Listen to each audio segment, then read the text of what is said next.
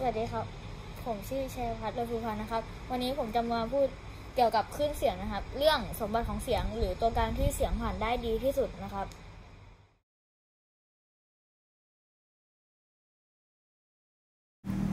เมื่อคลื่นเสียงกระทบกับสิ่งกีดขวางหรือเคลื่อนที่ถึงผิวของรอยต่อของตัวกลาง หรือตัวกลางชนิดเดียวกันแต่อุณหภูมิห่างกัน จะทำให้เกิดการสะท้อนของเสียง โดยเสียงที่จะสะท้อนวัตถุผิวเรียบได้ดีกว่าวัตถุผิวขรุขระ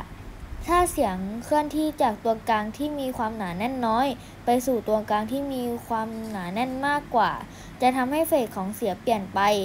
เพราะโมเลกุลที่บริเวณนั้นไม่สามารถสั่นได้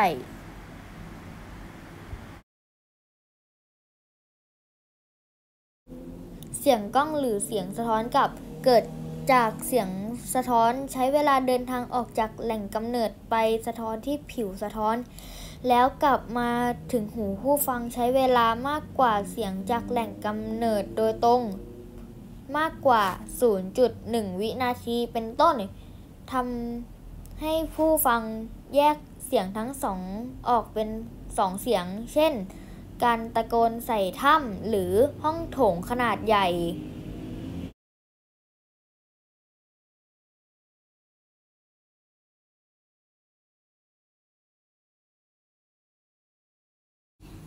การเลี้ยวเบน คือการที่เมื่อคลื่นผ่านรูที่เล็กมากๆ แล้วมีขนาดใหญ่กว่ารู ถ้าคลื่นไม่มีการเลี้ยวเบนคลื่นที่ผ่านออกไปจะมีขนาดเท่ากับรูนั้นๆ การเลี้ยวเบนของคลื่นเกิดขึ้นได้ เมื่อคลื่นจากแหล่งกำเนิดเดินทางไปพบสิ่งกีดขวาง ที่มีลักษณะเป็นขอบ หรือช่องทำให้ คลื่นเคลื่อนที่เลี้ยวอ้อมผ่านสิ่งกีดขวาง ได้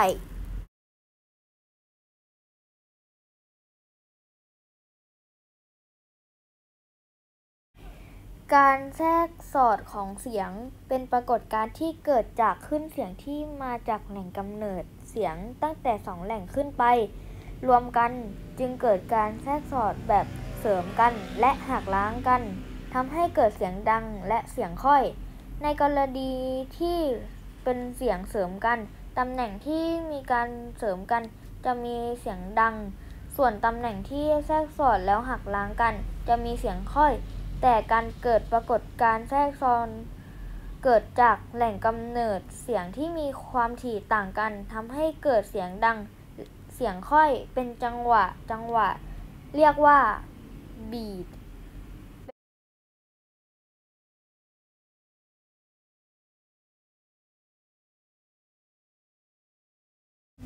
การหักเหของเสียงเกิดขึ้นเมื่อเสียงเคลื่อนที่ผ่านตัวกลางต่างชนิดทำให้ความยาวคลื่นและอัตราเร็ว เสียงเปลี่ยนไป หรือเสียงคลื่นที่ผ่านตัวกลางชนิดเดียวกัน แต่อุณหภูมิแตกต่างกัน จะทำให้อัตราเร็วของเสียงเปลี่ยนแปลงไป การหักเหของเสียง เมื่อเสียงเดินทางในอากาศจากบริเวณที่มีอุณหภูมิต่ำไปสู่บริเวณที่มีอุณหภูมิสูง เสียงจะเบนออก จากเส้นปกติ และเมื่อเสียงเดินทางในอากาศบริเวณที่มีอุณหภูมิสูงไปบริเวณที่มีอุณหภูมิต่ำคลื่นเสียงจะเบนเข้าหาเส้นปกติ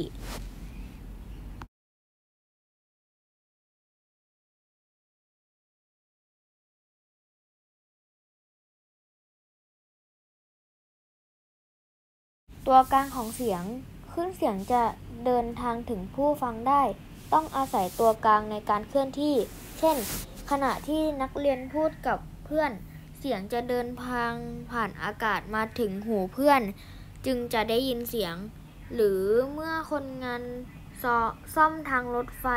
เอาหูแนบกับรางรถไฟ ว่ามีเสียงรถไฟมาหรือยัง นั่นแสดงว่าเสียงต้องอาศัยตัวกลางในการเคลื่อนที่ ตัวกลางของเสียงมีของแข็ง เช่น โลหะต่างๆ 2. ของเหลว เช่น น้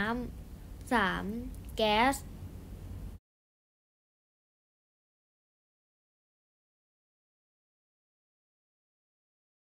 ผมจะยกตัวอย่างของตัวกลางต่างๆ ให้ฟัง แก๊สคาร์บอนไดออกไซด์ อัตราเร็ว 272 อากาศ อัตราเร็ว 346 แก๊สไฮโดรเจน อัตราเร็ว 1,339 น้ำ อัตราเร็ว 1,498 น้ำทะเล 1,531 แก้ว อัตราเร็ว 4,540 อลูมิเนียม อัตราเร็ว 5,000 เหล็ก อัตราเร็ว 5,200